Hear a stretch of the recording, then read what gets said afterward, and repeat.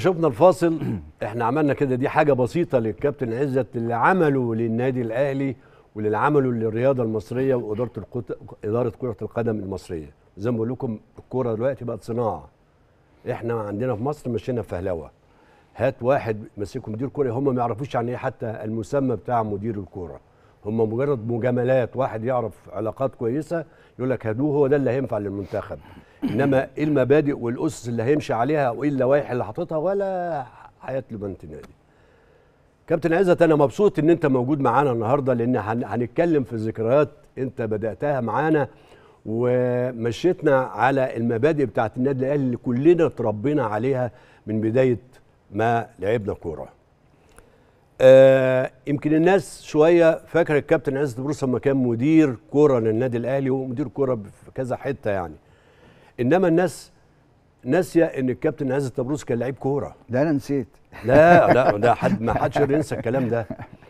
وأنا ال ال ال ال المقابلات اللي كانت قبل كده مع معظم الناس بيبقى في ناس كده ليها آه، حاجة شخصية عندي كده كحب من جوايا كده.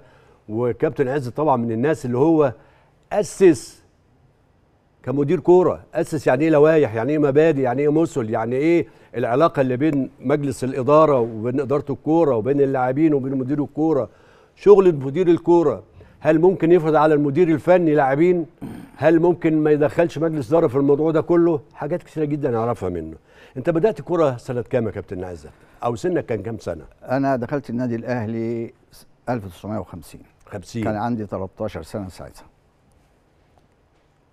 ورحنا هناك الاخ- الاختبار كان يوم خميس وكان الدكتور ممتاز يا سلام. يرحمه وشخصية سلام. جميلة جدا طبعا وأساسها إن كنت في امبابة كان في الكابتن عمر الشندي مم. وحسين عبد الشافي ده برضك لاعب منتخب مصر والسكة الحديد آه كان عندنا ملعب قدام المدرسة هناك المعلمين وكنا ياخدنا ونلعب مع بعضينا وبعدين فجأة لقيت أنور صالح طبعا عارفه لا أنا دلوقتي هتكلم في جزئية. أنت بدأت لعبت كوره في الشارع؟ طبعا. كان سنك كام سنة وأنت بتلعب كوره في الشارع؟ يعني تقدر تقول من 10 سنين تقريبا. 10 سنين. آه. كان ليك فرقة بقى في الحي بتاعك والكلام بعد ده؟ فترة كده كان في واحد كبير في المنطقة. هو اللي. جمع بقى ال- ال- الصغيرين دول وبينا نلعب. أنت كنت شاطر في المدرسة؟ مش قوي. مش قوي. لأن كانت الكوره كانت واخدة كل هقول لك ليه مشكلة. آه. إن أنا كنت بطلع أتمرن. آه. فكان التمرين عندي حاجة مهمة جدا لأن كنت بحب الكورة جدا. وأنت صغير. آه آه. فكان الحصة السابعة والثامنة ما بق... تقريبا ما بحضرهمش. ما تعرفش فطبعا أثرت على المستوى الأداء طبعا. أكيد. طيب الأسرة كانت مساعداك إن أنت تلعب كورة ولا- طبعا والدي كان ما بيسيبنيش يعني في كل المباريات حتى في الكلية الحربية. كان يروح اتحاد الجيش عشان يتفرج عليا. أهلاوي ولا زملكاوي؟ أهلاوي يموت. مش هقول أنا مش هسألك أقول لك كنت أهلاوي من صغرك ولا كنت مين اللي شافك في الشارع وأنت بتلعب كورة وقال لك إحنا لازم ناخد اللعيب ده سواء لمركز شباب أو لنادي أو لساحة؟ هو الكابتن عبد آه عمر شندي. عمر شندي. آه طبعا ده طبعا. نادي الزمالك ومنتخب مصر وأخوه عبد الرحيم شندي. امم وكان معاهم حسين عبد الشافي من آه، نادي السكه الحديد. هم اللي كانوا يعني بيشوفونا ونلعب وهو ده اللي عمر شندي اللي وصاه إن نروح وصى إن إحنا نروح النادي الأهلي هل ده كان حلم بالنسبة للكابتن ناصر عاوز تلعب في بأمانة؟ أنا ما كانش في فكري حقيقة خالص. آه خالص أنا بلعب كورة بحب ألعب الكورة وخلاص آه. في أي حتة مش مش مش هي دي آه. لكن بس عاوز تعمل نقلة بقى من الشارع لنادي آه هي النقلة لما جت فوقتني يعني حسيت إن في حاجة بقى؟ أنا لازم أبص لها اتخضيت ها آه آه يعني آه فانور صالح جه قال لي كابتن عمر بيقول بدل ما مدى أنتوا بتلعبوا في الشارع بدل ما بتلعبوا في الشارع تعالوا روحوا النادي الأهلي. كان الكابتن آه، أنور صلاح مركزه إيه في النادي بقى؟ ماسك لا إيه؟ لا ده كان صغير زي ده كان دفعتي. صغير. آه أنت أول ما. دخلت آه. آه إحنا بنلعب يعني كنت أنا وهو وفوزي فرغلي. آه لعب في طبعا. الأهلي ولعب في دمياط فإحنا الثلاثه كنا بنلعب. فقال تعالوا أنتوا الثلاثه نوديكم. فهو قال لي أنور شوف عزت وفوزي وتعالوا. آه. قلت له آه ليه لا؟ يلا. أول وهلة داخل فيها النادي الأهلي كنت تسمع عن نجوم كتيرة في الزمن بتاعكم ولاعيبة كان ليها باع كبير جدا. أول وهلة كده وأنت داخل النادي الأهلي إيه اللي حسيت بيه؟ شوف يعني سيبك من حتة اللعيبة لأن برضه ما كنتش مدرك. آه، بأمانة. الحلم بقى. آه ما كنتش مدرك مين اللي آه، بيلعب ومين آه، اللي ما آه. بيلعبش. ولكن أنا اللي أبهرني منظر النادي الشياكة اللي فيها. مم. ناس لابسة لبس محترم وقاعدين وهدوء ومنظر جميل. هو ده اللي لفت نظري أكتر. إيه اللي حصل بقى لما دخلت؟